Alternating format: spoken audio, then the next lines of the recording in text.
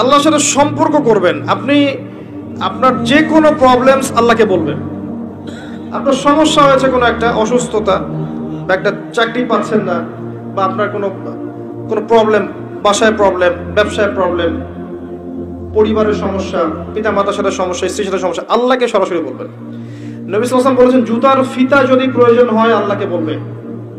তোমার যদি জুতার ফিতা ছিঁড়ে যায়, আল্লাহকে বলবে, আল্লাহ, আমার জুতার ফিতা ছিঁড়ে গেছে, আমাকে ফিতা দাও। এমন সম্পর্ক আল্লাহর সাথে করেন যে আল্লাহকে আপনি কাছে নিয়ে নেন, আপন করে ফেলেন। আল্লাহ পাক আপনার খুব কাছে।